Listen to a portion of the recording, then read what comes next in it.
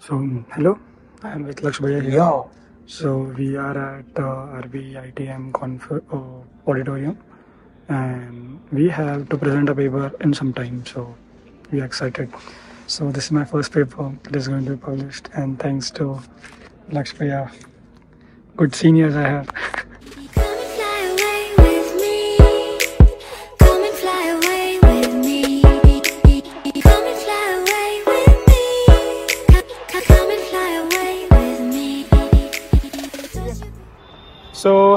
hi- everyone, Ninad Sonawane here and welcome back to another video on this channel. So in this video, I'll be talking about how to publish a research paper in college and why should you do it. Uh, and I'll be giving you the steps like uh, how to publish a research paper. And I'll be also sharing my experience, how did my paper got accepted and it's going to be published soon. So those who don't know me, I'm Ninad Sonawane, a 21, a 20 year old uh, YouTuber, tra- uh, traveler and developer from Bangalore. So yeah, enough with introduction. So let's dive in. So I'm in sixth year of college right now, and I started writing my paper in somewhere around fourth sem, that is second year of college. My paper got ready in two three months in second year itself, but uh, like I was searching for conferences, so I got some IEEE conference. I submitted my paper there, but they didn't really accept uh, my paper because my paper was more of a concept paper, and they're looking for implementation paper. So I waited for a while, and then I got this conference called as Tiger, where I submitted, and luckily they accepted my paper.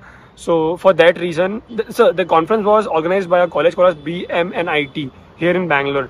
So they called me to the college where we had to present our paper. So I presented my paper, and there was also a best paper award, which I didn't really get. So I know what mistake did I do, and now I know what is a quality paper. So now again I'm writing a paper with a professor and my friend, you know that Ajit guy, yeah, with him. So yeah, I'll be putting this paper. I, that paper will be ready by in one month or so, and then I'll be we'll be putting it in a very good conferences like with good reputation. That that is very important, guys. And one more thing. So why did I write a research paper? Because I I'm considering for masters next year because uh, a lot of reasons. I'll talk about that in some other video. So uh, yeah, uh, going for masters. If you're going for masters, uh, having a research paper gives extra value and an upper hand in your profile. So that's the reason I, I wrote I wrote a research paper, and and I'll be putting my entire journey of masters in this channel. So do watch it. So and like, tell me what kind of videos do you want. So I'll be making that kind of videos. So yeah, that's it. And that my why was clear. That why was I writing. So this brings to our point: why should you write a research paper, and what what should be your why? So first reason is uh, it, it it adds value when you're going for masters. As I told you, for the same reason as mine, I'm writing the paper because I want to go for masters. So they'll, uh, they'll it will add weight to my profile because I have written some paper, I have done some research work that makes me serious into the field which I'm applying for. So that's very important. Second reason is people who are going to switch their fields. So it also applies in my case because I'm from electrical electrical. Uh, what was yeah my course yeah electrical and electronics engineering. But i'm shifting in computer science because i do code, coding and stuff. You must be knowing so yeah now i need to shift my uh, majors so for that reason i need to write research paper because when uh, people will when, uh, when applicants or recruiters or anyone will see my profile if they if they see that i am really interested into computer science because i have produced some research work in that domain that makes me really uh, serious about the domain and that that uh, tells a lot that this guy wants to seriously work in the domain and is interested. So these two reasons are very important. And the third reason is if you want to really contribute to the society if you feel like there's a problem and you want to really work on it do write a paper. I'm, I'm not kidding. So yeah we see- we see like a lot of problems if you see some basic problem in blockchain in let's say a consensus mechanism and you think you can improve this mechanism by doing so and so you genuinely want to improve it go ahead and write uh, write a paper. You'll contribute a lot and the fourth reason i see people writing this paper is if they want to go in r&d r&d jobs. Because if you if you want to work as a professor in IC or let's say DRDO or somewhere in research domains like because in even in big big companies there's a, a dedicated team in R&D like R&D department like any any big company you name Apple or Amazon. Actually I have a friend who works in Amazon as a in R&D team and he earns a lot trust me. So if you want to work in R&D obviously you should have a research and development experience that is writing research papers okay so steps of steps of writing a research paper So there are not any fixed steps of writing a research paper. It may depend person to person or professor to professor. But I'll tell you the steps which I personally did and whatever my professors and uh, my seniors recommended. So the first is going like finding a topic. Obviously, that's the first step. So go ahead, find a topic like uh, whatever you are genuinely interested in. I was in blockchain. Something else can be for you. So if you don't have any idea or topic in mind, you can go on your college website and go on the faculty section and see what your professors are working on. And you can only directly approach and ask for a project.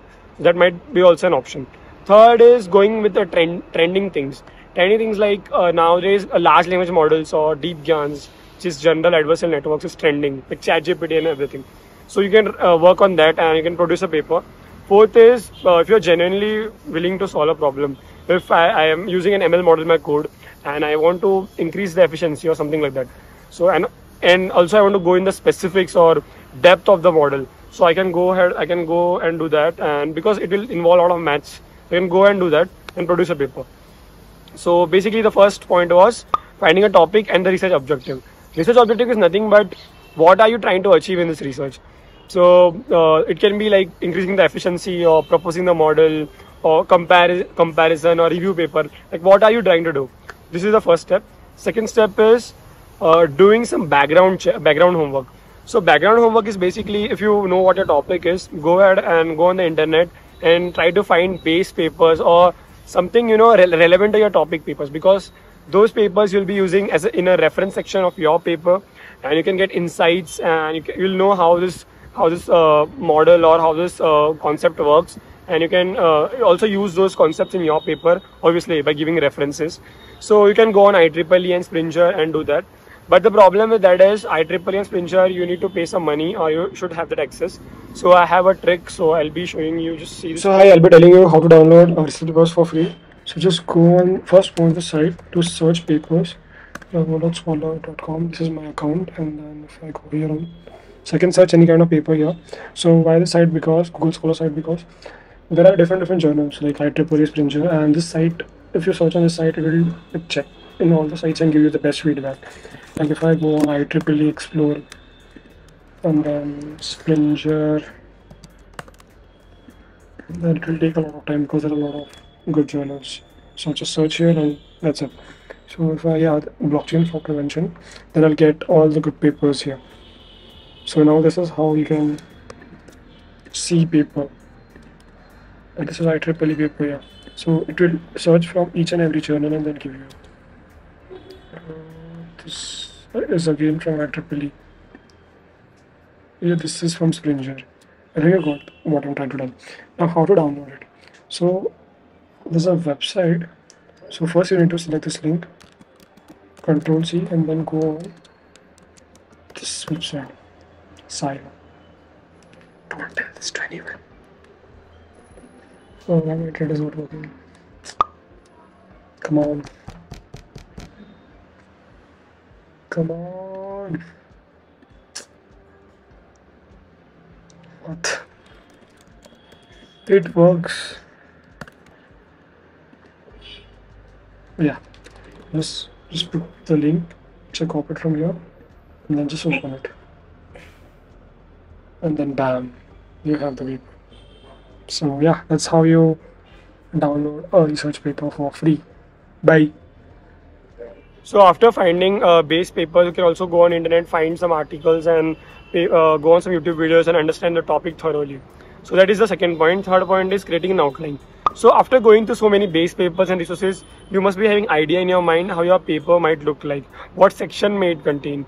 So again, again, uh, this may depend uh, paper to paper or uh, person to person and topic to topic because some uh, some papers might require more tables and stuff, but some uh, papers might require pseudocode and algorithms. So again, it depends on person to person. But I'll show you how a basic structure or outline looks like in a research paper. So this is a basic outline of a research paper. So after that, uh, you can start writing the paper. So that is the that's the fourth point. You can start writing your paper.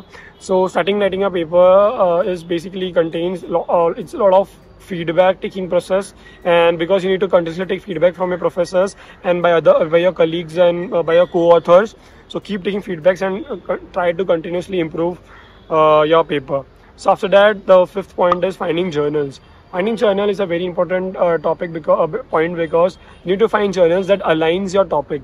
And align and you, you have to also see the reputation of journal because some journals like IEEE Springer have very good international reputation and some might not. So you need to find a perfect journal for your for your use case. And i'll also link a uh, link in a description where you can get updates of conferences uh, of happening all over the world. So you can go in and check that. And yeah that's it. Find a journal and uh, one more thing guys uh, each and every journal might require different different uh, formats like IEEE has different formats Springer has different formats and other journals might be having different formats so you need to arrange your paper according, according to that so they'll be putting everything in the brochure just go ahead and check that so after uh, finding a journal you can submit your paper so before submitting a paper show it to your professors uh, do a plagiarism check. So your professor must be, must be having a professional uh, plagiarism checker academic uh, plagiarism checker. So uh, you'll find a plagiarism. Ideally it- it must be less than 10% i don't know about it, again it depends on journal to journal journal. So yeah and find any uh, spelling mistakes or any mistakes that uh, that might be there in your paper. And if you think everything is like good submit your paper. Submit your paper. You you need to email them. Most most mostly you have to email your paper uh, and after that wait for some time uh, two three weeks you might need to have to wait. And after that you'll receive a notification of acceptance or rejection. Or they might also tell you to wait and suggest some changes in your paper. So you need to go ahead and make the changes and submit again. So that might, might be the process. So if you are getting rejected ask the reason. That's very important. Go ahead ask the reason why you were rejected so that you can improve on the next time. So and my last point is after your get paper getting published congratulations and now you may put on post on linkedin and write a blog. And congratulations. So that was steps of writing a research paper. So that's it guys. Thank you so much for watching this video. And give a give a subscribe uh, like like my video and uh, subscribe to my channel if you love the content. And suggest me what kind of content i can make more. And i'll be more than happy to make videos uh, related to all this stuff so bye bye guys